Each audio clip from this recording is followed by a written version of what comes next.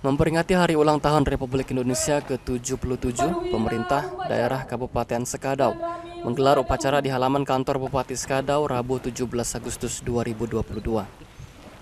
Semangat perayaan Hari Kemerdekaan ini pun turut dimeriahkan atraksi pencak silat dari beberapa perguruan silat setempat dan penyerahan hadiah permainan rakyat yang ada di Sekadau Hilir. Pada kesempatan ini Bupati Sekadau Aron mengatakan tema pulih lebih cepat bangkit lebih kuat yang diusung pemerintah pusat tentu menjadi harapan bersama untuk kemajuan Indonesia.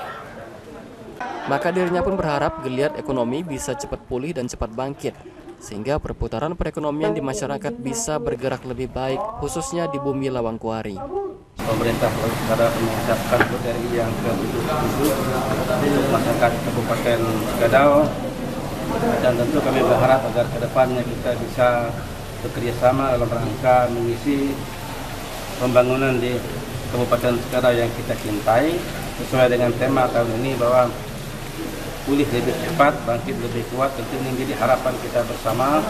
Karena sekian tahun yang lalu ekonomi kita terpuruk mudah-mudahan dengan semangat kita bersama dengan perayaan kemerdekaan ini ke depan ekonomi kita bisa lebih cepat pulih dan juga lebih cepat bangkit sehingga uh, perputaran perekonomian di masyarakat kita juga bisa cepat uh.